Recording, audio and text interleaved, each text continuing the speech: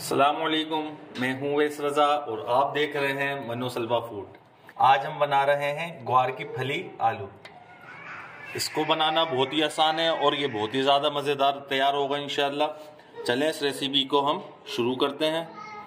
ये ग्वार की फली हमने काट ली थी और अच्छी तरीके से इसको धो लिया। पतीली हमने चूल्हे पे रख दी है। ऑयल ले लेंगे एक कटोरी। और ये एक कप बनता है। और ऑयल को हम गरम कर लेंगे।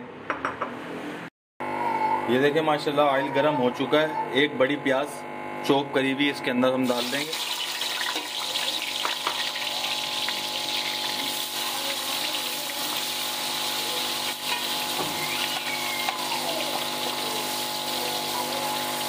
इसको हल्का नरम कर लेंगे। ग्वार की फली हमने एक किलो ली थी। अब इसके अंदर हम एक चम्मच ज़ीरा डालेंगे।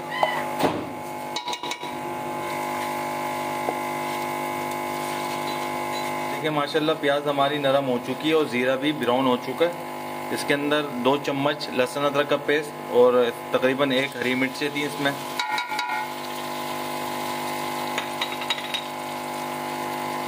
दो चम्मच हरी मिर्चें, चॉप करी हुई। चम्मच लाल मिर्चें कुटी हुई। इसे हम अच्छी तरीके से मिक्स कर लेंगे। आधी चम्मच लाल मिर्चें।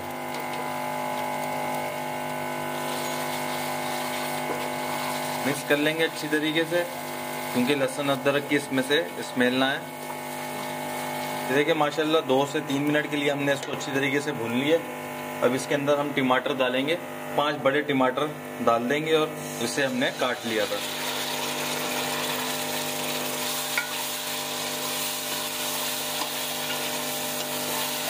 ये देखिए, माशाल्लाह अच्छी तरीके से हो चुका है। हमने टमाटरों को मैश नहीं करना है ऐसे ही खड़े खड़े रखना है। अब इसके अंदर ये जो हमने एक किलो फली ली भी थी और इसको डाल देंगे इसमें।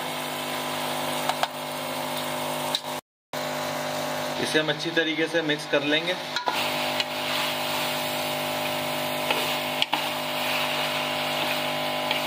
खुशबू माशाल्लाह, बहुत ज़बरदस्त आ रही है इसमें से।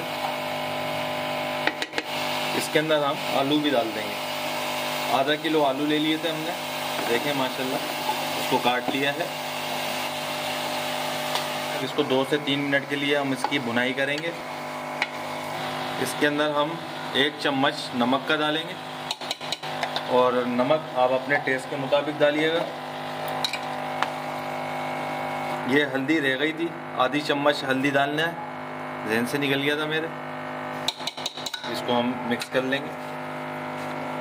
हल्दी की स्मेल इंशाल्लाह इसमें नहीं आएगी। नाई के अंदर ही इसकी स्मेल नहीं आएगी।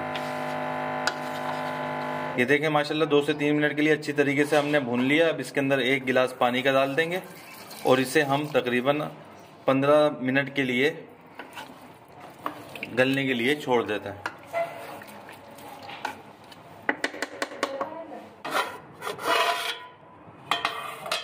ये देखें माशाल्लाह, इसको 15 मिनट हो चुके हैं। आलू हमारे गल चुके हैं ग्वार की फली भी गल चुकी है।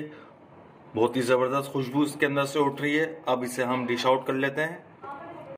ये देखें माशाल्लाह, कितनी ज़बरदस्त ग्वार की फली बन के तैयार हुई है। अगर मेरी आपको ये रेसिपी पसंद आई हो तो इसे लाइक करिए सब्सक्राइब करिए और शेयर करिए। दुआओं में याद रखिएगा, मुझे दीजिए इजाज़त। अल्लाह हाफिज़।